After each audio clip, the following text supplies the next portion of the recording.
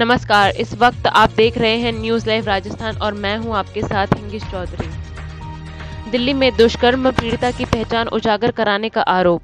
जयपुर में राहुल गांधी के खिलाफ एफआईआर दर्ज करवाने पहुँचे भाजपा नेता।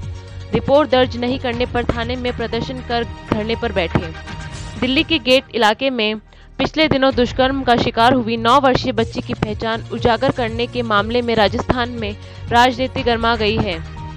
भाजपा के प्रदेश पदाधिकारी व कार्यकर्ताओं ने जयपुर के अशोकनगर थाने में कांग्रेस नेता राहुल गांधी के खिलाफ एफआईआर दर्ज करवाने पहुँचे। लेकिन पुलिस ने अन्य जगह की घटना होना बताकर रिपोर्ट दर्ज करने से इनकार कर दिया।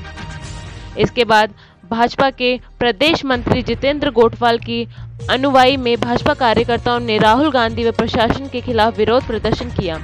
थाने के मुख्य गेट के पास ही धरने पर बैठ गए। बाद में उच्च अधिकारियों ने मौके पर पहुंचकर समझाइश की।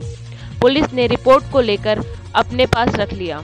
इसके बाद दोपहर करीब एक बजे भाजपा कार्यकर्ताओं को एफआईआर दर्ज करवाए बिना ही वापस लौटना पड़ा।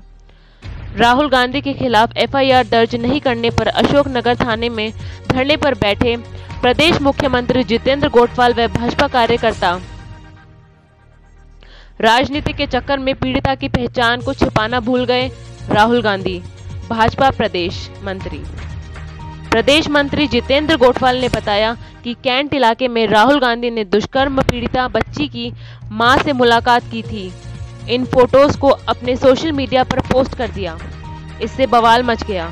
भाजपा का आरोप है कि राजनीतिक महत्वाकांक्षाओं के चक्कर में राहुल गांधी ने सोशल मीडिया फ़ोटो पोस्ट कर दुष्कर्म पीड़िता बच्ची और उनके परिवार की पहचान उजागर कर दी, जो कि दो दो आठ ए आईपीसीसी पोस्टो एक्ट व जुवेनाइल जस्टिस एक्ट के तहत अपराध है।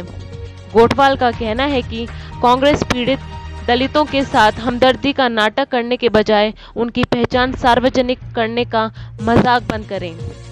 यह दलितों के साथ अन्याय है। उनके खिलाफ मुकदमा दर्ज कर कार्रवाई की जानी चाहिए।